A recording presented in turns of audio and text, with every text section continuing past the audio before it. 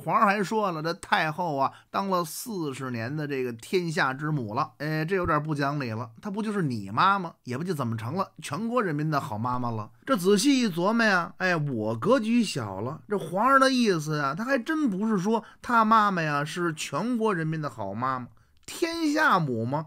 那我估摸着这里还得包括这个法兰西、英格兰，还有美利坚吧。咱欢迎您来到我的书馆，咱们闲言少叙呀，书归正传。今天呀，咱们要说说呀，这甄嬛过生日那庞大的场面，以及他的儿子乾隆皇帝啊，给他献上那个无比珍贵的，必须用钱来衡量，可是又数不清花了多少钱的贺礼。这孝圣献皇后，哎，咱们还是称呼她为甄嬛得了。这样啊，她说着不绕嘴，而且呢，哎，大伙儿也都知道我说谁呢。这甄嬛的生日是哪天啊？她出生于呀康熙三十年的十一月二十五日，也就是说呀，这十一月二十五就是这皇太后的生日。那么这皇上儿子给这皇太后过生日，这生日办的怎么样呢？哎，这《清史稿》里啊，他写的清楚，《清史稿》中有载。乾隆十六年六十寿，二十六年七十寿，三十六年八十寿，庆典呀以次加隆。您瞧，这上边他写的多清楚啊！就是说呀，从这乾隆十六年开始，每到这皇太后的整寿日啊，这庆典一次比一次隆重。咱们先说这太后盛典呀，大概的流程，然后啊，这细节呢，咱们一会儿再说。这太后庆典啊，叫什么呀？叫圣寿节。那皇上的呢？皇上叫万寿节。这个娘娘的呢？娘娘叫千秋节。这《清史稿》中所载啊，先期日金寿礼九九，先以上亲制诗文书画，次则如意佛像、福冠簪饰、金玉犀象、玛瑙水晶、玻璃珐琅、仪顶细器、书画奇绣、碧帛花果。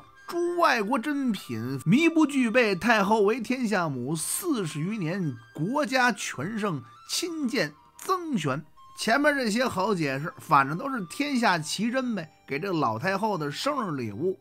这呀，还是人家这个皇上家自己的家人给这老太后啊准备的生日礼物。这皇上还说了，这太后啊当了四十年的这个天下之母了，哎，这有点不讲理了。她不就是你妈吗？也不就怎么成了全国人民的好妈妈了？这仔细一琢磨呀，哎，我格局小了。这皇上的意思呀，他还真不是说他妈妈呀是全国人民的好妈妈，天下母吗？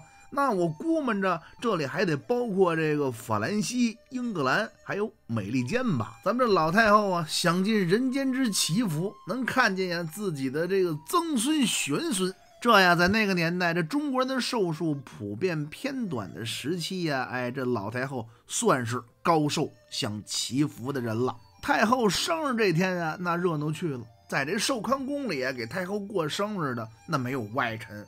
哎，这个乾隆皇帝一家子，无非是这个嫔妃们啊，跟着皇子们，再有呢，就是这个禁之宗室们，哎，王爷们啊，带着福进来。总之啊，全是皇族禁制，就连这老太后的娘家人想进到这个寿康宫，想给太后啊请个安、磕个寿头，那也是没门那这些外臣们想表达表达心意怎么办呢？您呢，紫禁城三大殿那边啊是紫禁城的办公区。那些外臣啊，在那儿啊倒是可以出入，在那儿啊遥望着太后的寝宫，磕俩头，心里头默念着呀，老太后长寿百岁，也就完了。乾隆三十六年，这皇太后八十大寿啊，这会儿啊，这清朝宫廷画师画了一幅画，记录下了这个盛大空前的场面。这幅画它叫什么呀？叫《重庆皇太后八旬万寿图》。您现在啊去这个寿康宫游览，这门口啊立着一个大牌子，这牌子的底板呢用的就是这幅图。您看这幅图上画的，这皇太后主位居中而坐，一旁自个儿的儿子弘历陪在身边。年长的皇子们啊，哎，虽然穿的也是黄颜色，但是他并不是这个鹅黄明黄，穿的呀是杏黄土黄色。分立两旁站在这桌前。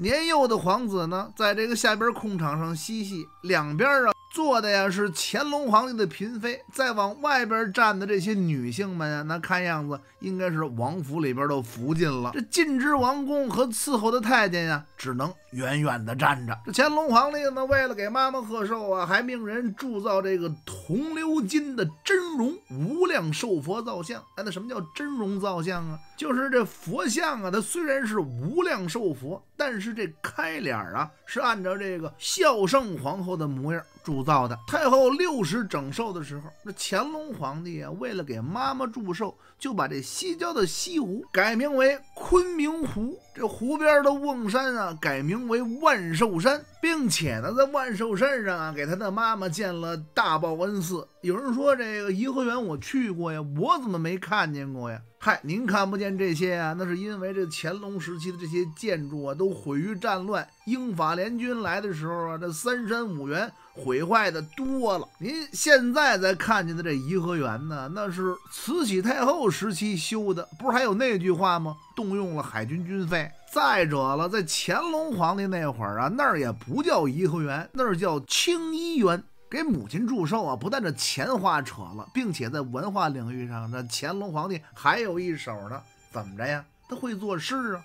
虽然乾隆爷这诗啊，他不在二五言以上啊，他也不在二五言以下，但是呢，必定啊，这乾隆爷从小学的是格律，哎，人家做的诗肯定比现代人做的要强得多。他写了不少啊，给妈妈贺寿的诗，其中有一首啊是这么写的。第十山庄住景长，荷花红映桂花香，亚平香色都相敬，一算仙应见寿康。您瞧没有，这乾隆皇帝摘好的呀，又是花儿啊，又是画儿，全送到寿康宫给妈妈拜寿去。这我想，这乾隆皇帝啊，一定觉得这首诗啊，他挺雅致，可是我听起来就挺俗气的。这就完了吗？没有啊！那皇太后啊，八十整寿的时候，还有一个惊天动地的大手笔。您现在要是去这紫禁城旁边的这个北海公园啊，您就能看见，在这个海子的西岸呢，您看啊，过了五龙亭，往前呢，什么极乐世界、小西天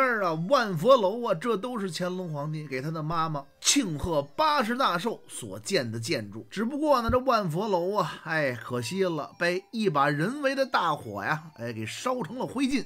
您现在要是去呀，只能看见遗址，您可看不见这个万佛楼了。学徒我呀，只能在这儿啊，给您介绍一下这万佛楼当年是何等的雄伟。这万佛楼和其他的佛寺建筑那可是不一样，它有三层，它是一个屹立在这个海子边上啊，三十多米高的庞然巨物。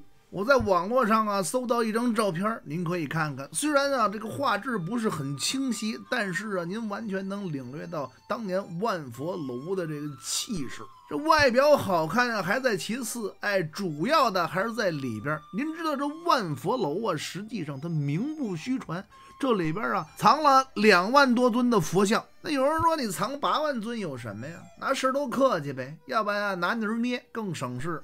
哎呦喂，那您说的那是什么呀？那是荒山野庙，这可是皇家佛堂，那要脸的乾隆皇帝给妈妈祝寿的佛堂。这两万余尊佛呀，那可是纯金的，一部分呢是内务府铸造，另一部分呢是封疆大吏、文武百官一起捐上来的。要说起来，这乾隆皇帝那还真行得出来。人家给你捐佛像啊，那是人家对这个主子的尊敬。可是呢，您呢就别要求重量了。不接，这乾隆皇帝规定了，说这大佛像啊得一百八十八两八钱，这小的也不能低于这五十八两，并且呀，这里边还有隐喻，隐喻什么呀？这是八十大寿的含义。哎呀，好家伙的嘞！看样子呀，给皇上家当个官啊，也不大容易。我觉着呀，这帮封疆大吏们肯定没少做牙花子。那后来这些佛像哪儿去了呢？提起这事儿来呀，那我就生气。本来呢，咱们聊得好好的，这太后的圣寿啊，哎呀，说起这事儿来呀，哎，就不光啊我一人生气，您听了也得气着。这八国联军打进北京城，那谁最鸡贼呀？日本人呢？这小鬼子呀，他早就啊贼上这万佛楼了。这日军指挥部啊，就设在北海的万佛楼里。最后经过谈判啊，这大清国也赔了钱了，签字画了押。这别的列强啊，领着兵都走了，可这日本人呢，迟迟不走。为什么呀？往外倒腾万佛楼里的金子呢呗。等日本人走了呀，还别说楼里的金佛像了，据说呀，连铜鎏金的都被日本人运回国，改造了炮弹。这个时候正是日本大走列强之路的时候，这些佛像运到日本以后啊，没落着好，都被化成了金锭，运到西方去买了枪炮、武器以及军舰。您想，这大清国呀，就是这么的没气数。那么甄嬛看了这些生日礼物之后，她高兴不高兴吗？哎，这皇太后啊，倒是没大惊大喜。看过之后啊，跟皇上说呀：“哎，这个皇帝啊，这钱呢，还是要花在百姓身上。”哎，由此可见呢，这老太后她也是明事理的人。那这么说，这乾隆皇帝对这老太后那定是百依百顺，惹定不错了。哎，我跟您这么说吧，这钱呢，往妈妈身上她是没少花。可是您要说这百依百顺呢，这皇太后这点气儿啊，我看呢还真不一定能够顺下去。明天啊，我就得跟您好好聊聊这乾隆皇帝对自己妈妈刻薄的地方。我是啊，天天挨这儿给您讲故事的昆仑流石。您要是喜欢我的频道啊，还请您关注、点赞并转发。您的支持是我明天继续给您讲故事的唯一动力。得嘞，咱们明儿见呗，拜拜。